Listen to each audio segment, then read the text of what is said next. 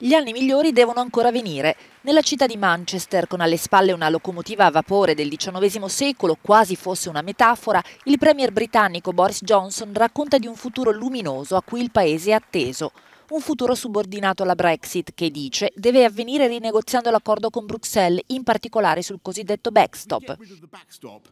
Se ci sbarazziamo del backstop nella sua interezza, dichiara, allora stiamo facendo molti progressi. Dovremmo ricordarci che lasciare l'Unione Europea è un'enorme opportunità economica per fare cose che non ci è stato permesso fare per decenni, per liberarci di qualche onere burocratico, per creare posti di lavoro, per far emergere la creatività e l'innovazione per cui il Regno Unito è famoso.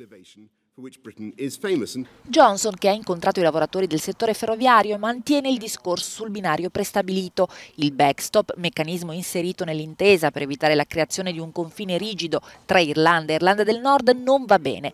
L'accordo così com'è non è sostenibile e va ridiscusso. In alternativa non resta che la fuoriuscita dall'Unione Europea senza accordo il 31 ottobre.